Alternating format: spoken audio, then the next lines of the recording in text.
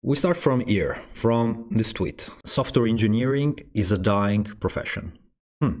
In my opinion, this is not true, but maybe I'm missing something. I think the fellow here is um, talking about ChatGPT, which is the latest AI marvel, which allegedly can respond like a human. Is this the first step toward general artificial intelligence? Well, I don't know.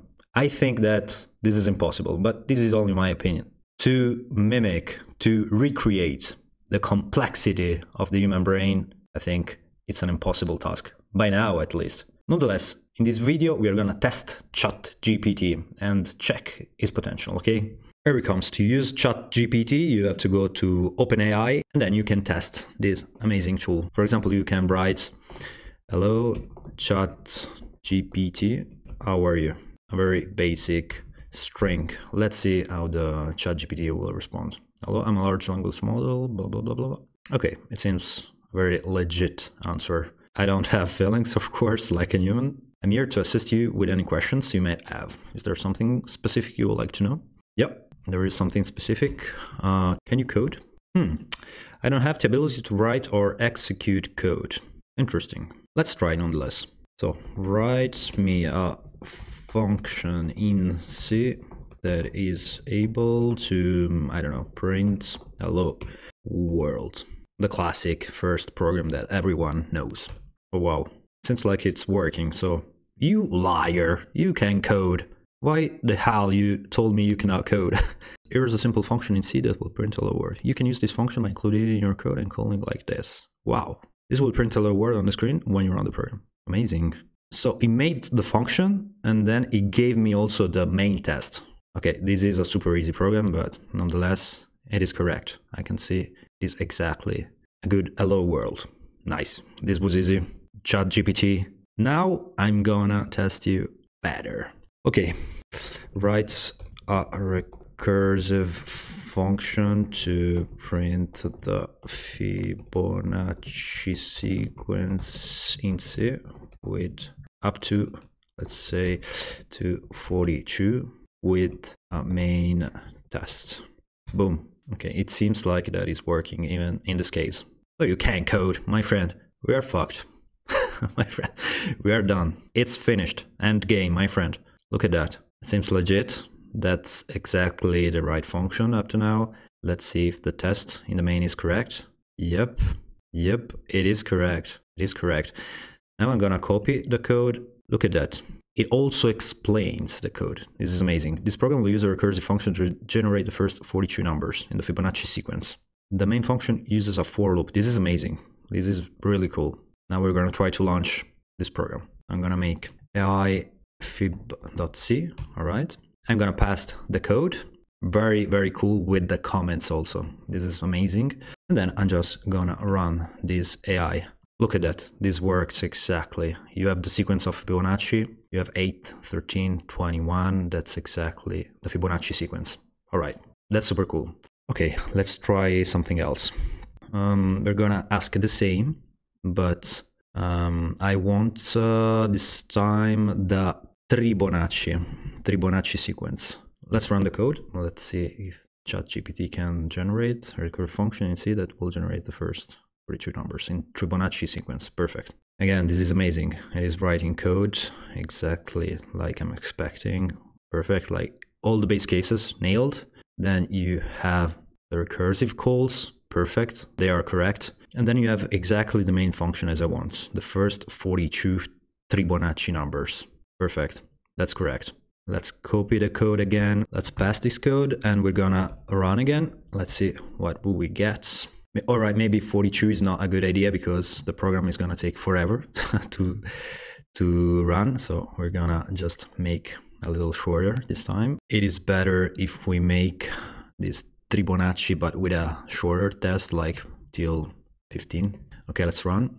Okay again this is amazing. It's printing the Tribonacci till the number 15 I have to admit this is pretty amazing especially if you are studying coding because you can really check with a very good teacher, essentially, how to write code. As you can see, you have all the comments, you have the explanation of the code, and this is going to be a very, very valuable tool. And this is only the beta version, as they say. So pretty impressed. This, of course, is the writes function. We're gonna copy and um, we're gonna paste here so we can run. Let's run the code. This time you see you have the Fibonacci sequence, which is exactly, you have four here, you have seven, 13, 24, perfect. This is the Fibonacci sequence. That's amazing. I am very positively uh, impressed. Okay, let's try something more difficult. What can I do? Well, we can try to solve the Euler project problems. Euler project is um, a place where people is solving mathematical problems. As you can see, you have all the problems. I have solved uh, some of them, not all of them, but for example, you have even Fibonacci numbers here, which is a simple problem. So here you have, you see the Fibonacci sequence, and you have to find the sum of the even valued terms. You can see here I have the answer. I have already solved with my human brain this problem. Let's check if uh, ChatGPT can solve this problem. All right, so I'm gonna copy this and then I'm gonna pass in my prompt. By considering the terms of the Fibonacci sequence whose value do not exceed 4 million, find the sum of the even valued terms. Write a program in C with a main test. Go. I think it's gonna be super easy for this AI. Here comes, it's working, sure.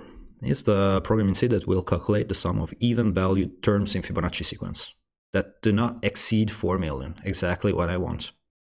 So as you can see, it's typing line by line with a comment explaining what it is doing. That's remarkable. So here it comes. We have the program. We're gonna copy and then we're gonna, as usual, paste here so we can launch it. The sum of the even value terms of Fibonacci sequence that don't exceed 4 million is 461 4 million 613. Let's check the result. 4 million 613 732. Sick.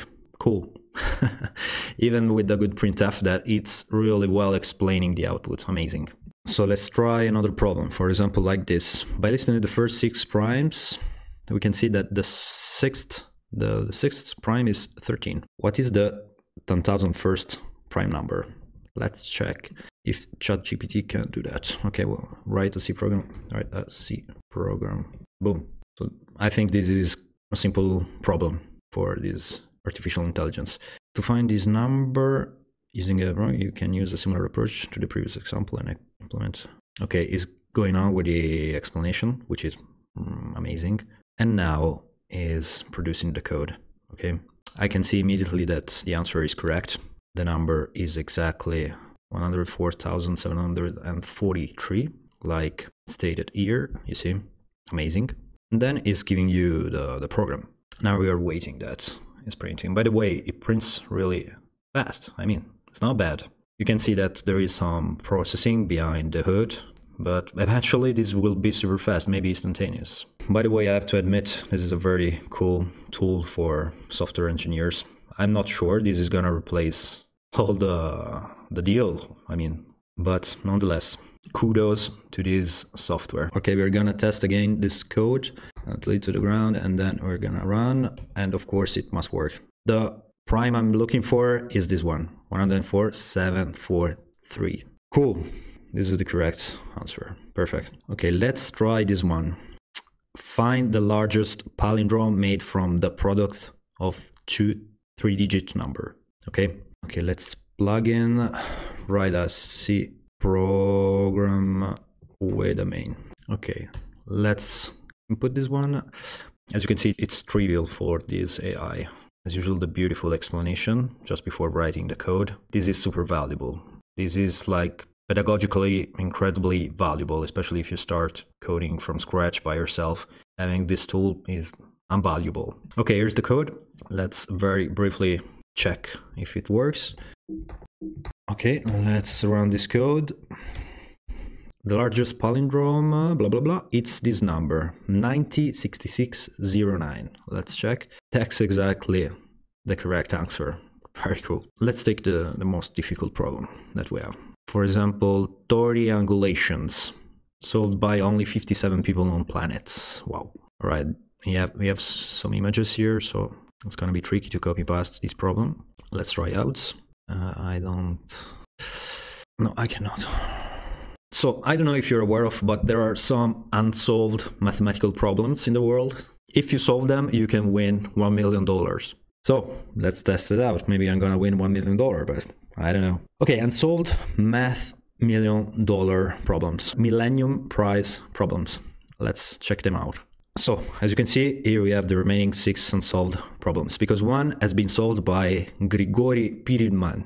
Если ты русский чувак, обязательно посмотри историю этого человека. Просто невероятно.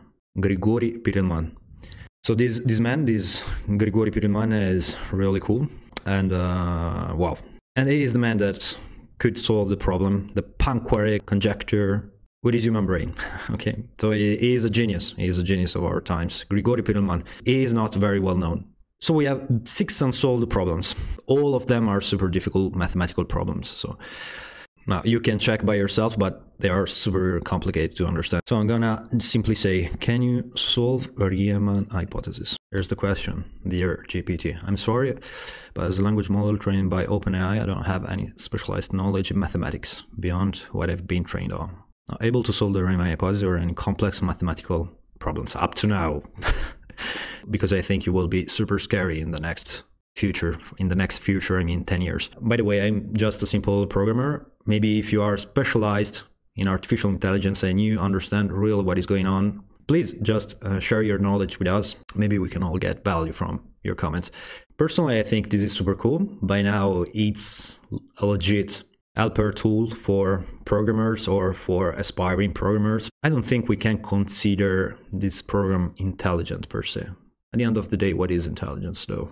It's a tricky, murky area. If we consider humans just a series of biochemical reactions and basically a biochemical algorithm, well, probably we can maybe one day map all the interactions happening in, in our system. I don't know, maybe there is something more. When we reach a certain level of complexity, there is a qualitatively difference in how the system works. For example, in the brain, we have allegedly 100 billion neurons creating a super complex structure. Maybe when we have that level of complexity, we reach escape velocity, we reach a point in which consciousness rise up and we have a qualitatively difference that we cannot reach with some chips. But I don't know.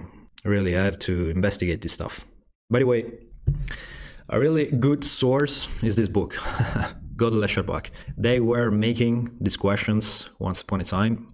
This is really amazing. This is an investigation of what is intelligence and how it is intertwined with computers. Maybe, um, I don't know, that's an amazing area. That's an amazing time, I would say. What do you think? We live in very cool times. The Matrix feels closer and closer. What do you think with this all meta stuff and with this amazing artificial intelligence that is doing code? Allegedly, we can say, okay, this is only pattern recognition, is scraping the internet, finding some previous human made solutions. But aren't we doing the same? Aren't we just a series of knowledge taken from other people? Well, I don't know, my friend. This is a a philosophical question more than scientific, in my opinion. Try by yourself ChatGPT, It's amazing. You will have a lot of fun. All right. Enjoy, my friend. Bye.